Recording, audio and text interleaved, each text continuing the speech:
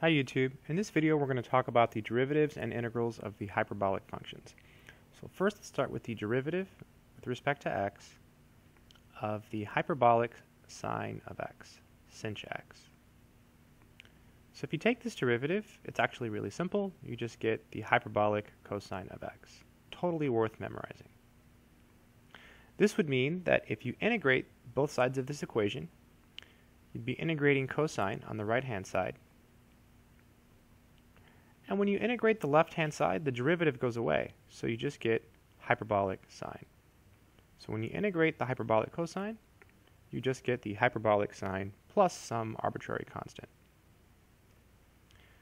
If we take the derivative of cosinh, or the hyperbolic cosine, in this case, we just get the hyperbolic sine, so sinh. This is different from regular trig functions, right? Like if you take the derivative of cosine, you would get negative sine, but this is much easier. There's no negative, so you just get sinh. Likewise, if you integrate both sides of this equation, you'd basically be integrating sinh. And when you integrate the left-hand side, the derivative goes away, and so the integral of sinh is cosinh. Really beautiful stuff. If you take the derivative of the hyperbolic tangent of x,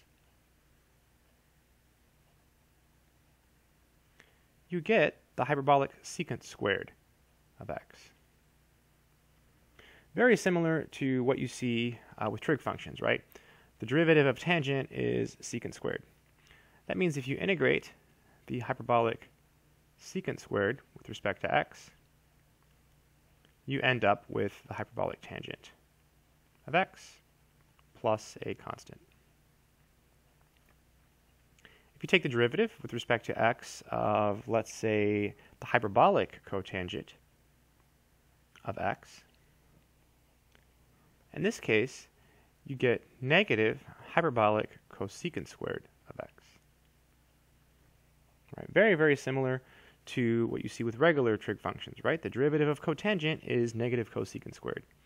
This means if you integrate the hyperbolic cosecant squared of x with respect to x, well, you can move the negative over to the left-hand side, and basically then you would be integrating this right-hand right -hand piece. So the derivative would cancel, so you would get negative hyperbolic cotangent x plus our constant c. c is our constant of integration. If you take the derivative with respect to x of, say, the hyperbolic secant of x. Here's where it gets a little bit different from what you're used to. So the derivative of secant is secant tangent.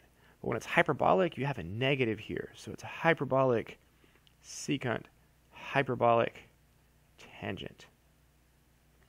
Likewise, when you integrate the right-hand side, the integral of hyperbolic secant hyperbolic tangent with respect to x is going to be equal to negative hyperbolic secant plus a constant. And last but not least, if you take the derivative with respect to x of, say, the hyperbolic cosecant of x, well, if it was just cosecant, you would get negative cosecant cotangent. So it's very similar here, except you have the hyperbolic ones. So hyperbolic cosecant, hyperbolic cotangent. So when you integrate the hyperbolic cosecant, times the hyperbolic cotangent with respect to x, you get negative hyperbolic cosecant x plus an arbitrary constant. So let's go ahead and do just a few examples uh, of differentiating and integrating hyperbolic functions uh, using these formulas. So I'm going to scroll down a little bit and maybe change color here. Here we go. And let's find some derivatives. Let's say we had f of x equals the hyperbolic sine of 3x squared plus x. And if we wanted to take the derivative of this, well, we would use the chain rule, right? So the derivative of the hyperbolic sine is hyperbolic cosine. So it'd be cosinh of, you would leave the inside alone, then you would multiply by the derivative of the inside, right? You would use the chain rule. So the derivative of 3x squared plus x, well, that's going to be just, let's see, 2 times 3 is 6. So you get 6x, and the derivative of x is 1, so 6x plus 1. And that's it. I guess the only thing you could do to make it look a little bit better is you could put the 6x plus 1 in the front. So 6x plus 1, hyperbolic cosine of 3x squared plus x.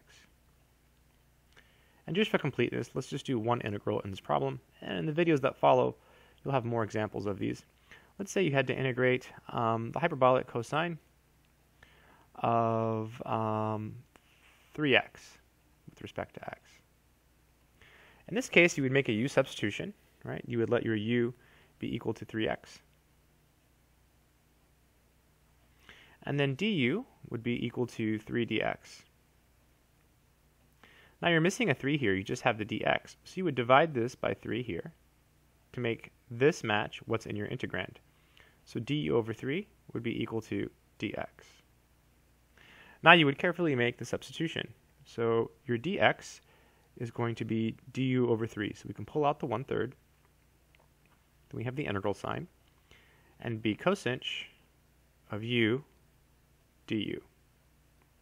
When we integrate cosinh, we just get sinh. So this would be 1 third sinh u. But u is 3x. So we can go ahead and replace that. And then we have plus c. And that would be the answer in this case. So I hope this video has been helpful. It's mainly intended as an introduction to the derivatives and integrals. In the videos that follow, you'll see many more examples of derivative, derivatives and integrals. That's it. Thanks for visiting.